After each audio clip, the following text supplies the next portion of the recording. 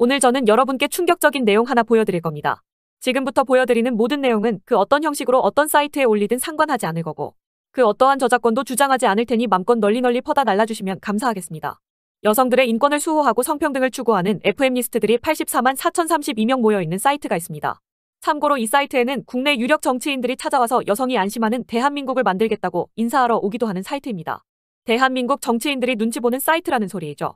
그리고 그 사이트에는 놀라운 비밀 한 가지가 숨겨져 있습니다. 2023년 5월 1일 그녀들은 아무런 내용이 없는 글 하나를 만들어 놓습니다. 내용이 하나도 없기 때문에 그 누구도 관심을 가지지 않죠. 수많은 글이 쓰여지는 사이트 특성상 올린 지 약 20일 정도가 지났으면 아무런 영양가 없는 글은 묻히기 마련입니다.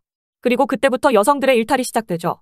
시간이 많이 지나 아무도 저 글을 찾아오지 않을 때 여성들은 이 글에 나타나 검색을 방지하는 암호까지 써가면서 뭔가 규칙을 만듭니다. 다음에서 검색될 수도 있으니 단어 바꿔서 정비 한번 갑시다 라는 말을 하죠. 그리고 여성들은 잘생긴 남성들의 사진을 올려놓고 이해하기 힘든 발언을 날리기 시작합니다. 닉네임은 준이고 나한테는 반포 살고 키는 174에 70kg쯤 된다 했어. 너무 잘생겨서 사진 도용인지 궁금해 이름 미음지으치의라고 하고 카톡 넘어왔거든. 이 남자 만난 여시 있어? 라는 식으로 남성의 신상 정보를 공유합니다. 그리고 수많은 여성들은 이 남성에 대한 신상 정보를 풀어놓으며 만났던 후기를 적기 시작합니다. 제가 지금 보여드리는 내용은 소라넷 혹은 N번방의 내용이 아닙니다. 대한민국의 유력 정치인도 와서 인사하고 가는 여성인권운동가들이 모여있는 사이트의 글을 보여드리는 거죠. 여성들은 이런 식으로 수많은 남성들을 데이터베이스화하여 신상을 공유하고 만났던 후기를 공유하고 있습니다. 남성의 사진을 올려놓고 돌았나 자신감 악에 빡쳐. 라는 식으로 남성의 외모를 조리돌림하는 여성들의 모습.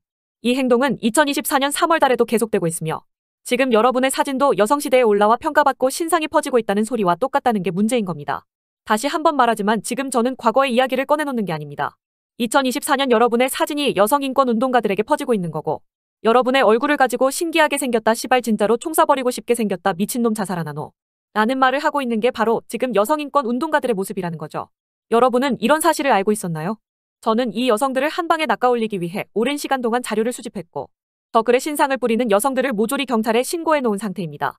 인권을 생각한다고 말하는 인간들의 뒷세계를 저는 사이버레카 방식으로 공개했고 더 여자들 제가 책임지고 전과자로 만들겠다는 포부를 여기서 밝히도록 하죠.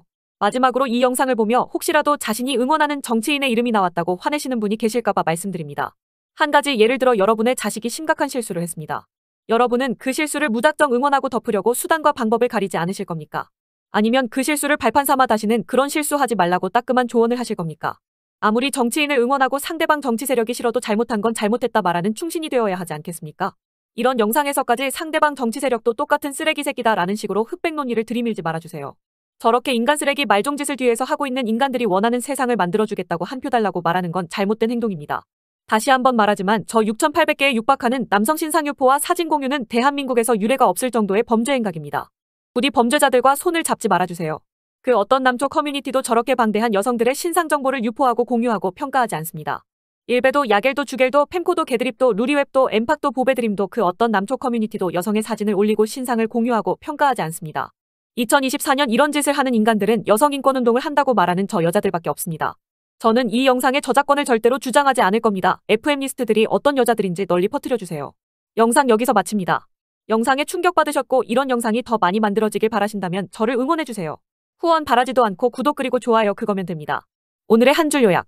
인권 운동을 한다고 아가리를 털거면 니들이 뒤에서 즐기는 음습한 쓰레기짓까지 인권 운동이라 씨부리고 다녀라 인연들아.